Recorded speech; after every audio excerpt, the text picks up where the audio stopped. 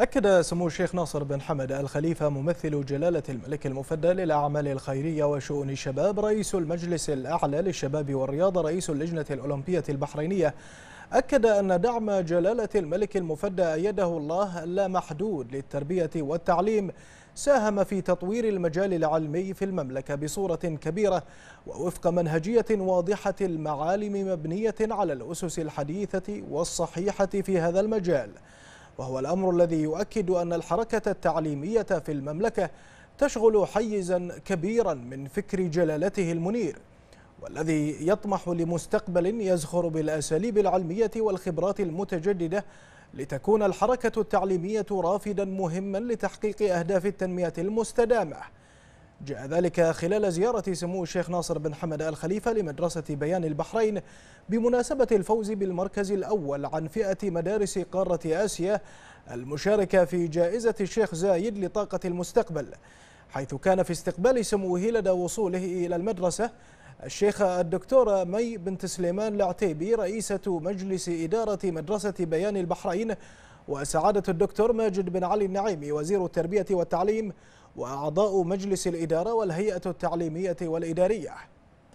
ونقل سموه خلال الكلمة التي ألقاها تحيات وتهاني جلالة الملك المفدى أيده الله إلى رئيس وأعضاء مجلس إدارة المدرسة بمناسبة الفوز.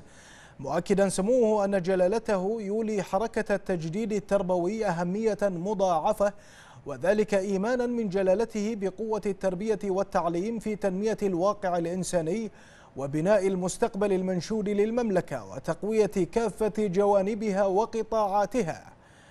وأشاد سموه بدور الشيخ الدكتورة مي بنت سليمان العتيبي والتي تمكنت بفضل قيادتها المتميزة للمدرسة من تحقيق نقلات نوعية بارزة في مسيرة عملها وتطوير إمكانيات الإدارة التعليمية والطلبة ووضع الخطط المناسبة التي جعلت المدرسة تتنافس على لقب الجائزة وتحققها.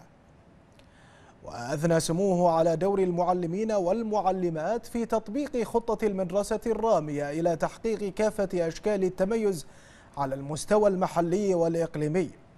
معتبرا سموه أن الطلبة والطالبات كانوا جز كانوا جزءا أساسيا ورئيسيا في تحقيق هذه الجائزة. وقد ألقت الشيخة الدكتورة مي بنت سليمان العتيبي كلمة أشادت من خلالها بدعم جلالة الملك المفدى حفظه الله للحركة التعليمية في المملكة الأمر الذي ساهم في تحقيق مدارس المملكة للعديد من الجوائز.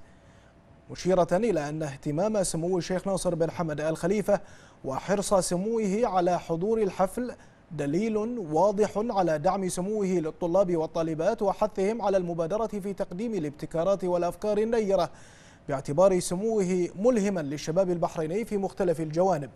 وقد قام سموه بتكريم الطلبة والطالبات المشاركين في الجائزة وتسلم سموه هدية تذكارية من الشيخة الدكتورة مي بنت سليمان العتيبي. وفي ختام الحفل قام سمو الشيخ ناصر بن حمد آل خليفة بجولة في المدرسة وتعرف بصورة مباشرة على المشاريع التي قدمها طلاب وطالبات المدرسة في الجائزة. الابتكار والتطوير كلمتان. ابتدأ بهما سمو الشيخ ناصر بن حمد آل خليفة ممثل جلالة الملك للأعمال الخيرية وشؤون الشباب رئيس المجلس الأعلى للشباب والرياضة رئيس اللجنة الأولمبية البحرينية. ابتدأ بهما زيارته لمدرسة بيان البحرين الذي نقل من خلالها.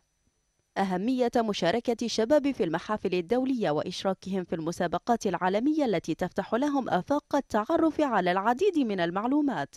والثقافات التي تساهم في خلق أجواء إبداعية تحفزهم على الابتكار بما يواكب التطور الحاصل في كافة المجالات. أصبحت مدرسة البيان مدرسة لله معروفة بين دول العالم.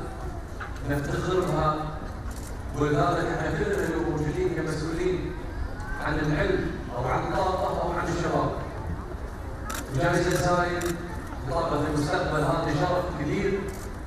هو فيكم فقط لكن مملكة البحرين كلها حكم اسمها فقط يعني من الكبير. وأشار سموه إلى أن تكنولوجيا الاستدامة ستفتح أبوابا جديدة للباحثين والمخترعين البحرينيين للخروج بنموذج بحريني مشرف محليا ودوليا مشيدا بدور الشباب المشارك في هذه المسابقة وإمكانياتهم المتقدمة والتي أهلتهم للفوز بهذه الجائزة المرموقة شاكرا الجهود المبذولة من قبل المدرسة للوصول إلى هذا المستوى المتطور في المجال العلمي. أهمية هذه الزيارة لسمو الشيخ ناصر بن حمد الخليفة حفظه الله ورعاه فهي أيضا رسالة مهمة إلى كل المؤسسات التعليمية في مملكة البحرين بأن هناك اهتمام ورعاية والأعمال التي يتم آه، تحقيقها والإنجازات التي يتم الوصول إليها هي مقدرة ومثمنة.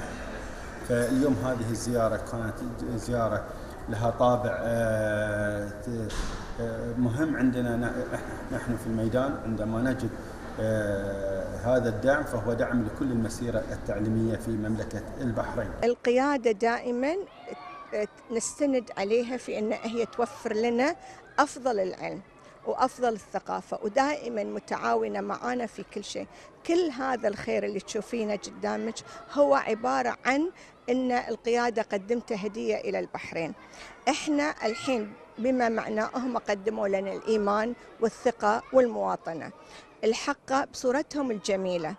علشان كذي نحن نقرس في أطفالنا حب الله حب الملك وحب الوطن إلى جانب حب العلم والوطن. مشروع اللي تقدمت بمدرسة البيان بجائزة زايد لطاقة المستقبل هو عبارة عن منصة تعليمية آه، تشمل آه، كافة التقنيات للطاقات المتجددة والاستدامة وتركز على الجانب التعليمي والتوعية للطلبة وهو فقط ليس لطلبة البحرين بل لكل طلبة آه، ليس لطلبة البيان بس لكل طلبة البحرين. جاء ذلك خلال زيارة سموه إلى مدرسة بيان البحرين حيث هنأ سموه إدارة المدرسة على فوزها بالمركز الأول عن فئة مدارس قارة آسيا المشاركة في جائزة الشيخ زايد لطاقة المستقبل هذا ويمثل فوز مدرسة بيان البحرين. تحقيقا على أرض الواقع لرؤية حضرة صاحب الجلالة الملك حمد بن عيسى الخليفة عاهل البلاد المفدى. حفظه الله ورعاه وتوجيهاته السديدة بالوصول إلى تحقيق أهداف التنمية المستدامة والتي يعتبر الارتقاء بالتعليم جزءا أساسيا منها. ويؤكد هذا على دعم القيادة الرشيدة المستمر للعقول الشابة التي تطمح إلى رفعة وإعلاء اسم المملكة في جميع المحافل.